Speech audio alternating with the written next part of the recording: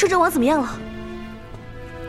王妃，此毒十分厉害，殿下脏腑受损，高烧不退，恐怕会有性命之危。那还有什么办法呀？这只能是尽人事，听天命，希望上天庇佑。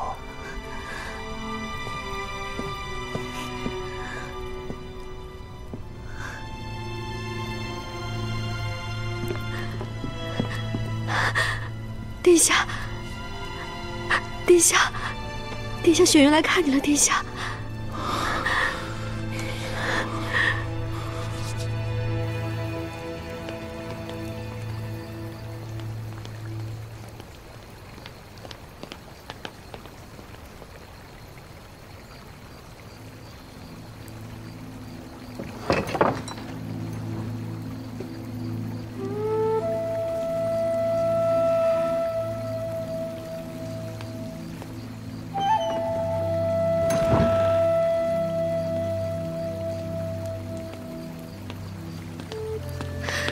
王妃，你干什么？王妃，我自知罪孽，不敢求你原谅。可是我求你，今夜让我照顾殿下，好不好？我破例让你见他一面，也是违抗太后旨意。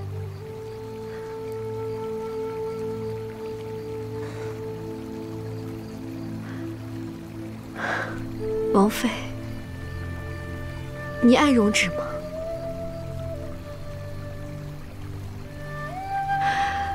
你不说话，可我知道你不爱他。一场朝政的联姻将你们拉在一起，让你们变得都不快乐。我嫉妒你，但是我也同情你。我嫉妒你有正妃的名分，嫉妒你是他名正言顺的妻子，但是我也同情你。同情你得不到夫君的爱，也丧失了得到幸福的机会。可是王妃，那我呢？我已经什么都没有了，如今我只想见他一面，都要如此恳求，我就不可怜吗？王妃，我求求你了，再给我一次机会吧，你就当做是可怜我。王妃，你起来，我不喜欢别人跪着求我。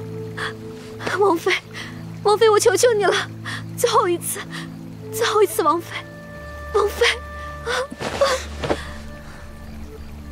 我纵然再爱一个人，也不会为他失去尊严，更不会摇尾乞怜。那是因为你还不够爱他。人要先爱自己，才可以爱别人。你为了爱他，连尊严都不要了。等到了失去他那一日，你又如何自处？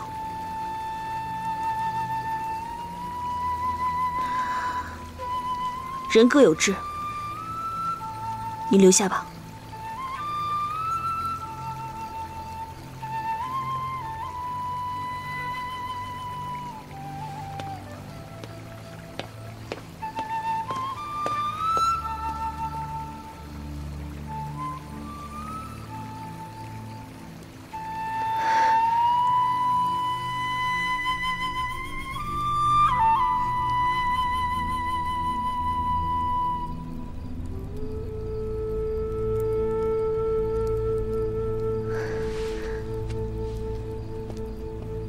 主子，药来了。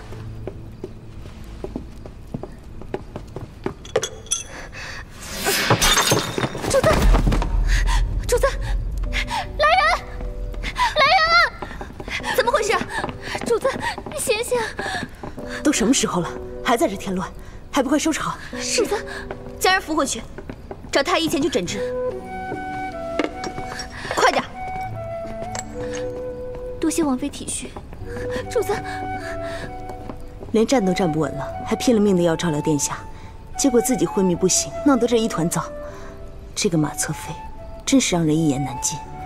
别说了，我留下来便是。你再倒一碗药来吧。是。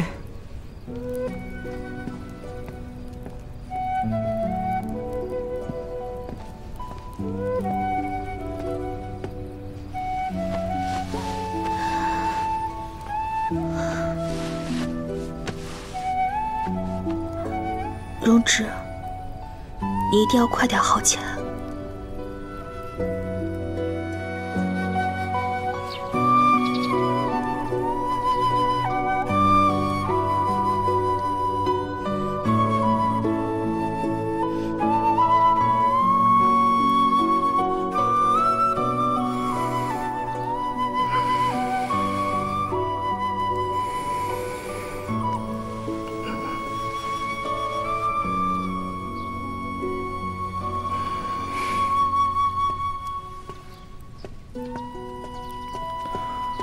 殿，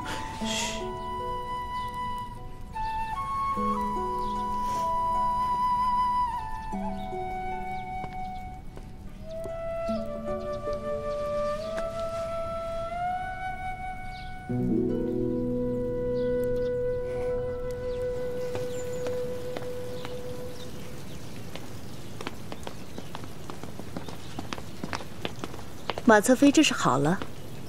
是啊，好多了，多谢关怀。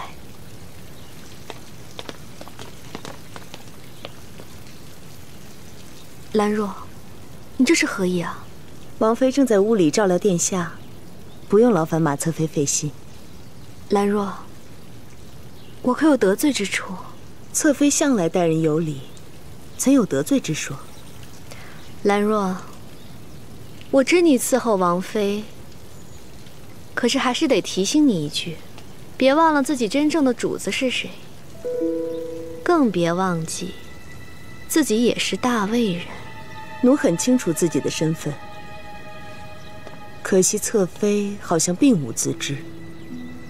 奴斗胆提醒一句，王妃才是这里的女主人，其他人都应该守住本分，不该僭越生事。你放肆！马侧妃。殿下在朝中腹背受敌，殚精竭虑，回到府里自然是希望妻妾和睦，风平浪静。王妃是个大度的人，不屑于妻妾之争，才会一再容你。但你别忘了，王妃能容，未必太后能容。马侧妃，请回吧。好。很好。